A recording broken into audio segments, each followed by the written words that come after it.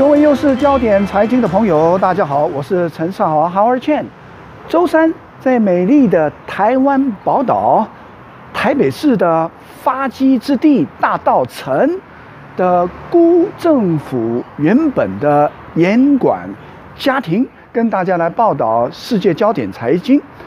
主播我康酷第三季可以看到牛气冲天，第三季是二零一三年以来最好的。成长，道涨了近九个 percent，S M P 5 0 0跟 Nasdaq 涨了七个 percent，所以实在是在中美征战当中继续的往上，波动是非常的大，但是波动当中有上的 trend，所以你跟我继续的准备进入第四季，准备三季财报，后市的确有待观察。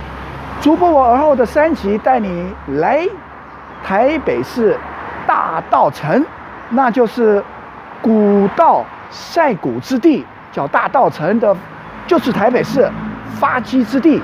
重中之重就是后面这个 building，这个 building 就是辜政府家族他爸爸辜显龙发基之地。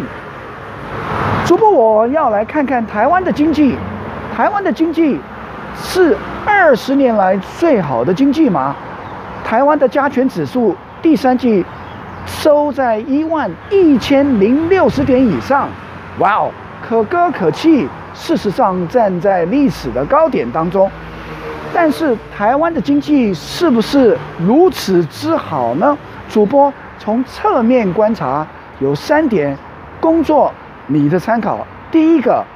三中里面的中小企业，台湾的股市一万一千点当中，台积电、台硕四宝，加上金融业、台化，加起来占台湾加权指数的六十个 percent，哇哦！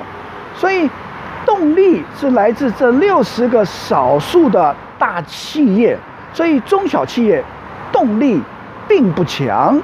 所以你可以看得到，是大企业在赚钱，中小企业却是唉声叹气。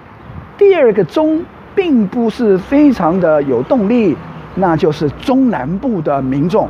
第三季台风天，雨季太多，菜价贱价，所以菜农并没有赚到钱。所以你可以看到很多的中南部的。这些农民事实上唉声叹气，怨政府，所以你可以看到中南部的农民也并不快乐。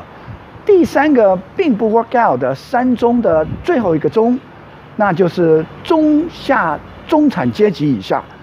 台湾的中产阶级，据调查有七十个 percent 并不满意现状的经济情况。